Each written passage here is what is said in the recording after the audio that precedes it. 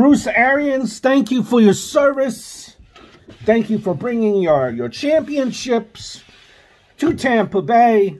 Uh, but Bruce Arians apparently is retiring and is saying, uh, you know, um, sayonara on Todd Bowles uh, has been named the defensive coordinator, uh, who was a defensive coordinator, former New York Jet head coach, is now the head coach of your Tampa Bay Bucks. And remember that Byron Leftwich, former quarterback, is running uh, the offense now. And, well, here's just a theory, just from a from a dude living in New York.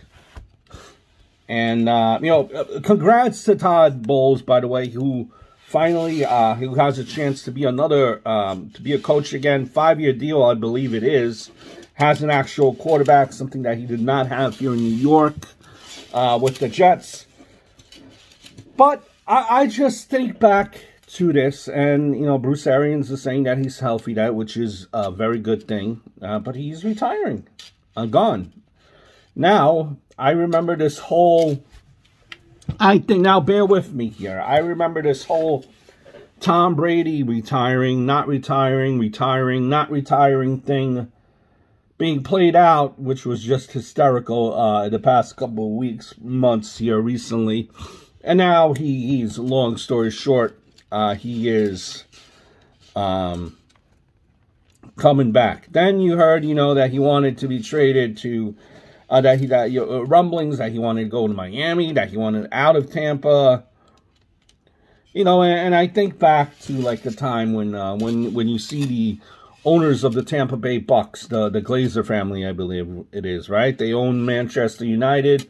Tom Brady is on a plane there watching Cristiano Ronaldo play his last game.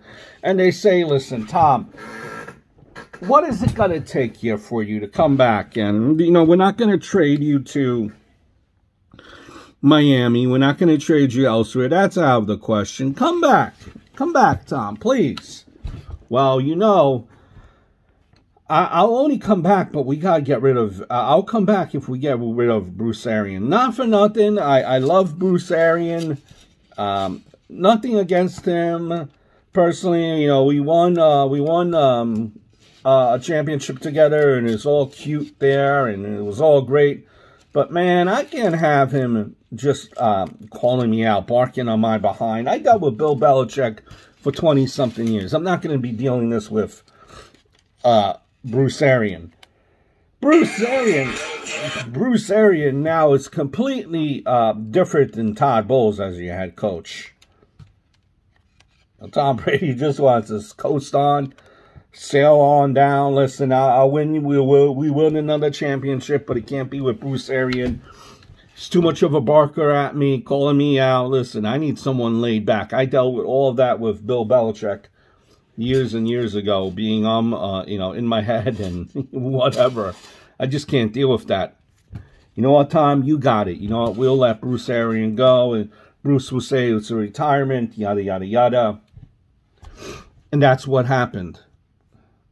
That is what happened. Not again, just my theory, but I think that is what happened. If you wanted Tom Brady back, you had to get rid of Bruce Arian um, just he couldn't Tom Brady couldn't deal with it anymore after dealing it with so many years in uh, New England, and now you have Todd Bowles has another opportunity to be a coach. Um, you know, with a five-year deal, and he has actually a decent quarterback and a decent team, and that's this team is going to be uh, one of the team's favorite to win. I mean, just because they are in the NFC and, and the division is what it is. So be prepared once again, ladies and gentlemen, for the Tampa Bucks possibly being in the Super Bowl. Hope all is well.